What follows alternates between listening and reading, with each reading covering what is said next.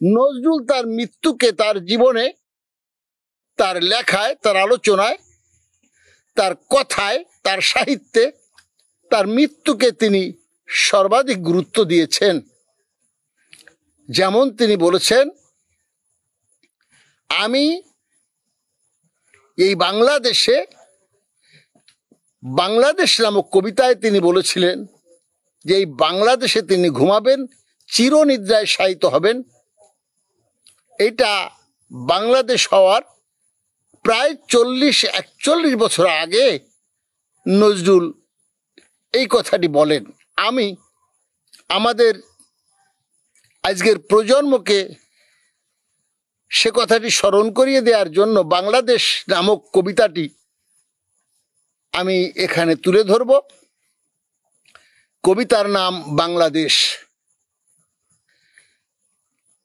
নম নম নম। বাংলাদেশ মম চির মনোরম চির মধুর বুকে নিরবধি, বহে শত নদী, চরণে জলধীর বাজে নুপুর। শিয়রে গিরিরাজ হিমালয় প্রহরী, আসি মেঘ বাড়ি সদা তার পরে ঝরি। যেন উমার চেয়ে, এ আদরিনী মেয়ে ওরে আকাশে মেঘ চিকুর। নম নম নম, বাংলাদেশ মম চির মনোরম, চির মধুর। গ্রীষ্মে নাচে বামা কাল বৈশাখী ঝড়ে, সহসা বরসাতে কান্দিয়া ভেঙে পড়ে।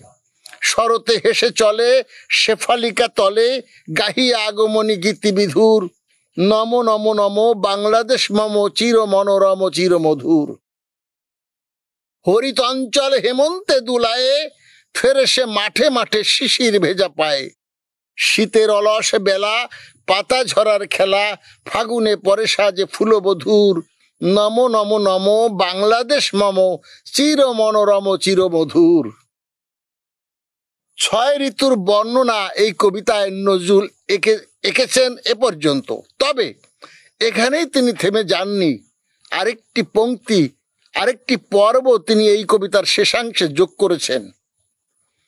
এখানেই তিনি তার অনাগত দিন বা মৃত্যু সম্পর্কে কথাটি এনেছেন, বলেছেন, এই দেশের মাটি, জল ফুলে ফলে যে রস, যে সুধা নাহি ভূমণ্ডলে, এ মায়ের বুকে হেসে খেলে সুখে, ঘুমাবো এ বুকে স্বপ্নাতুর, নম নম নম, বাংলাদেশ মম, চির মনোরম, চির মধুর।